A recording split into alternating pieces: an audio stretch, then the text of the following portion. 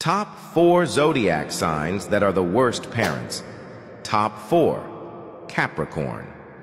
Their strong desire for control and perfectionism can sometimes make them overly strict and critical as parents.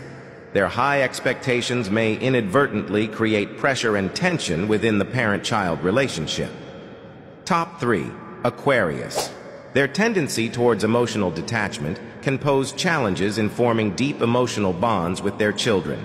Their focus on intellectual pursuits and unconventional ideas may sometimes overshadow the emotional needs of their offspring. Top 2. Sagittarius. Sagittarians may find it difficult to settle into the routines and responsibilities of parenting.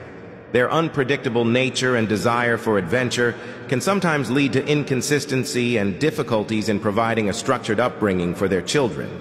Before I reveal the top one, Please save this video before they disappear and comment your zodiac sign.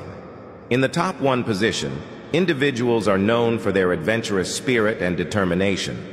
Their impulsive nature can sometimes make them struggle with the patience and consistency required in parenting. Their fiery temperament may lead to conflicts and challenges in maintaining a stable environment for their children. They are definitely Aries,